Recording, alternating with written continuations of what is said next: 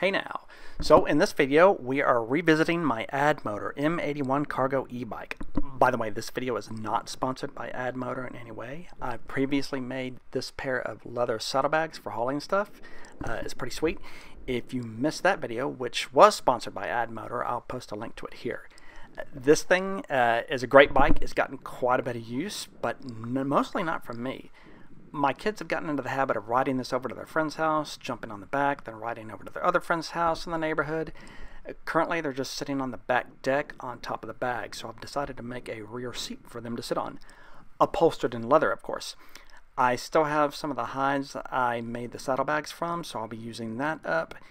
And I've got an old piece of half inch plywood I plan to make the, uh, the body out of. Um, There'll probably be about five minutes or so of construction stuff, so feel free to skip ahead to the leatherwork if you want.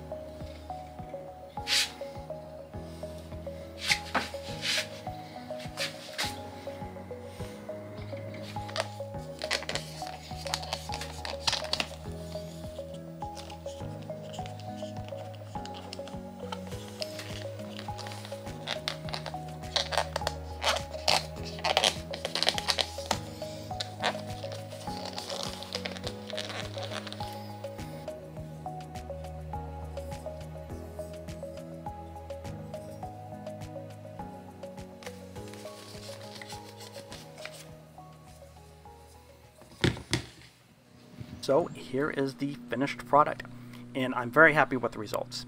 The only thing it needs now are some foot pegs for the rear passengers to rest their feet on.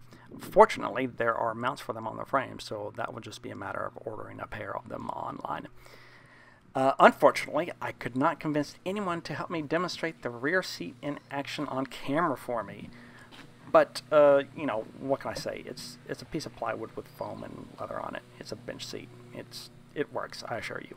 Um, anyways, I hope you enjoyed the video, and make sure to turn on notifications, like and subscribe, all that stuff, and I will see you in the next video. Thanks again.